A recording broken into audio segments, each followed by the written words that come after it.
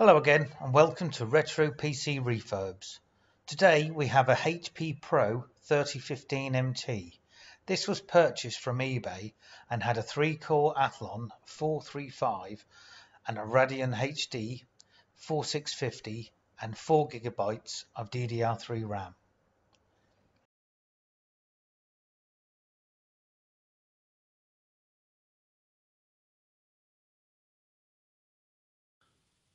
Right, so let's see if this actually turns on.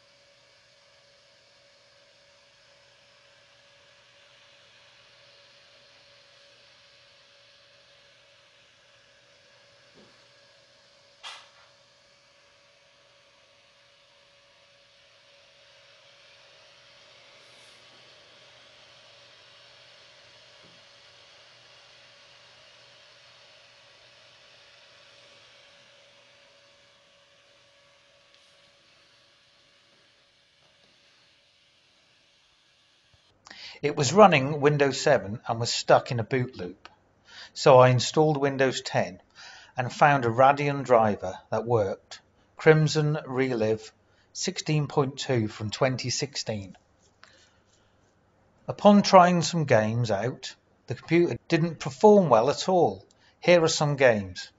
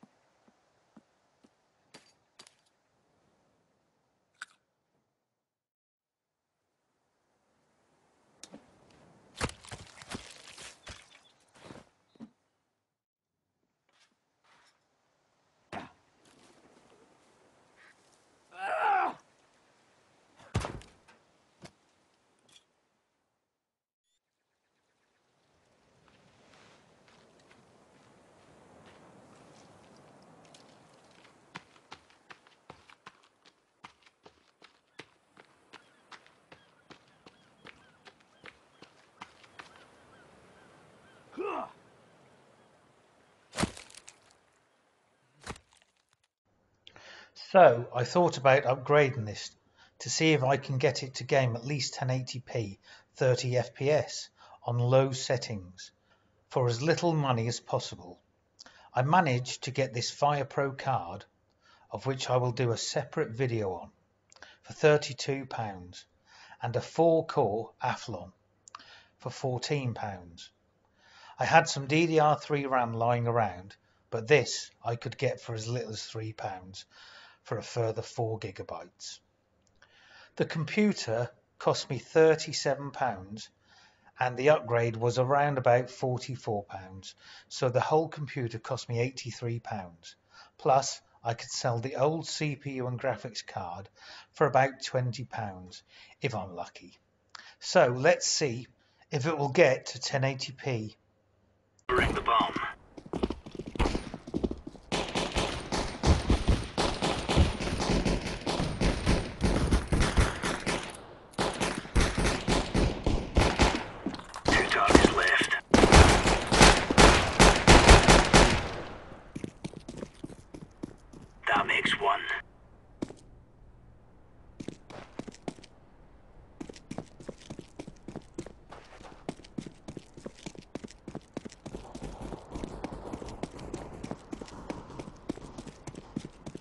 They've got the